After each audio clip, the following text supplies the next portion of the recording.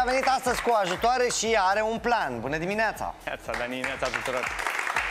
În primul rând vreau să vă vorbesc despre o campanie, o campanie se desfășoară la nivel global, unde uh, sunt implicate peste 1000 de cluburi din toată lumea și peste, uh, peste 1000 de cluburi din toată lumea și peste un milion de persoane active uh, ce susțin lupta împotriva obezității uh, și sedentarismului. În România sunt 9 cluburi alese uh, pe sprânceană pentru a susține această, uh, această idee și uh, astăzi o să vreau să vă arăt un antrenament pe care persoanele obeze, supraponderale, ar trebui să le lucreze la sală. Împreună, colegii mei, Dragoș și Florin.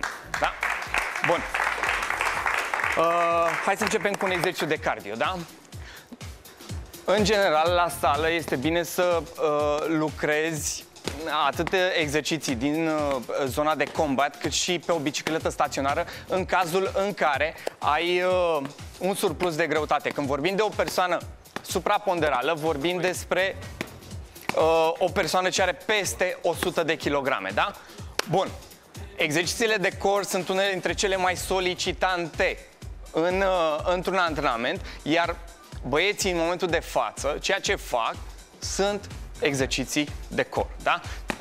Hai să vedem, hai mai departe. Bun, bun. Lovesc foarte, foarte ușor, nu-mi trebuie forță pe lovitură, îmi trebuie mișcare în sine, îmi trebuie o mișcare pe care trebuie să o punctez de fiecare dată și care să mă ajute să-mi angrenez centura abdominală atunci când, atunci când o exersez, da? Împreună cu antrenorul. Bine, bine, bine. Hai mai departe, hai cu mingea, da?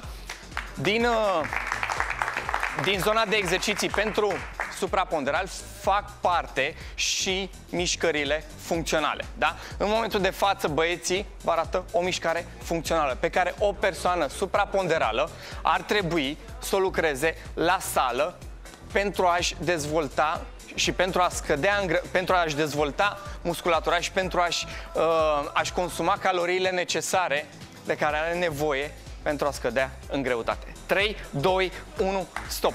Bun, lăsăm mingea jos. Hai să continuăm mai departe cu genul sus, da? Dragoș, palmarele în față. Hai!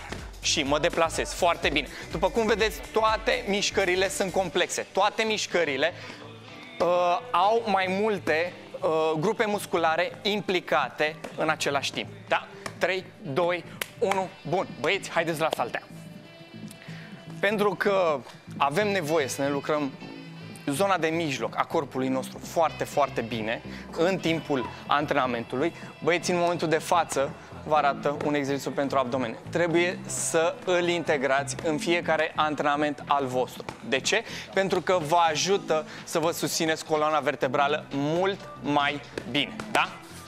Hai, hai, hai, hai. Bine, bine, bine. Inspir, expir. Ai grijă la respirație, ai grijă la repetări, ai grijă la timpii pe care îi lucrezi, maxim 45 de secunde, un minut pe fiecare exercițiu în parte. În 3, 2, 1.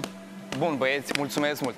Și vreau să închei, vreau să închei prin a vă spune că nu trebuie să uitați că fiecare rezultat al vostru pe care vi l-ați propus începe în bucătărie. Și chiar dacă se apropie sărbătorile, eu vă propun să facem mai multă mișcare, ca de obicei, în această perioadă.